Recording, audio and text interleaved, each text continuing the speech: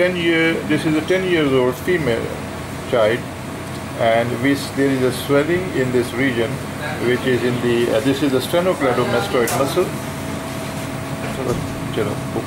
This is one. And the sternum here is the swelling and this is in the anterior triangle of the neck. What is here? What is this swelling? Let's see on the ultrasound here you see the uh, right lobe of the thyroid because the area of interest is on the right side in the, in the anterior triangle of the neck.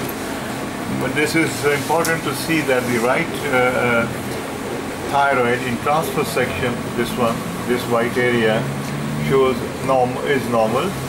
And uh, this is the common carotid artery. This is the jugular vein. This is the sternocleidomastoid muscle.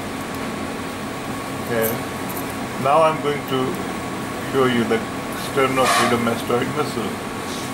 I have placed the probe of the over the uh, sternocleidomastoid muscle, bit of the nickel as it shows. This one. Now this strip is in fact that of the sternocleidomastoid muscle. This one and when I move the probe medially over the swelling, swelled area, we see a fluid pocket full of echo, echo filled pocket.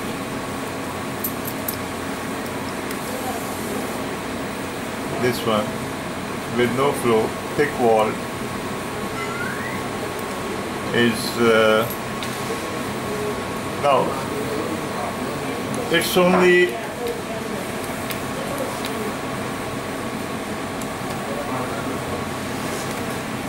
Three point one mm deep. Okay, let's say three point three mm deep to the skin in the region in the right triangle of the neck, and uh, this is the cystic area filled with echoes that we are studying.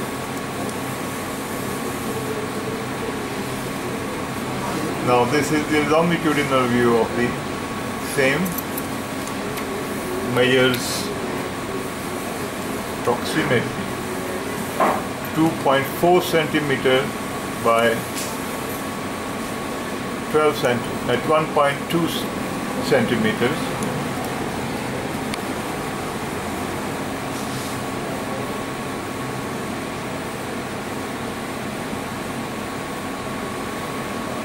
Now this is the transverse section. Uh, no calcification is seen in it. Now this is the sternocleidomastoid muscle. This is the uh, cystic uh, area, thick wall. This is the sternocleidomastoid muscle on the right side. And this is a now we do not see uh, significant posterior wall enhancement in this through this cystic area because of the thickness of the echoes. The reason is uh, the echoes are so thick throughout and it's filling all of the cystic space that uh, by the time they reach the posterior wall they are attenuated significantly. Patient is not tender to the probe there is no redness over there. And uh, I do not have the lab profile with me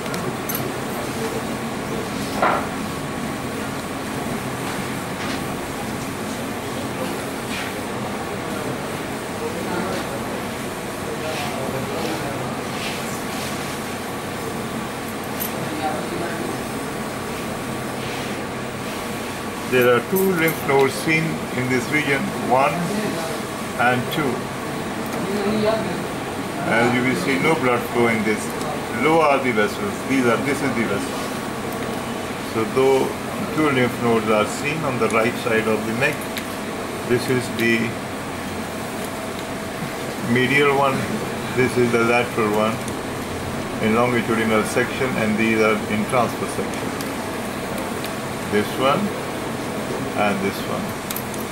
So suggestive of this finding of today is suggestive of an abscess, loculated abscess in this uh, anterior triangle of the neck with adjacent adenopathy.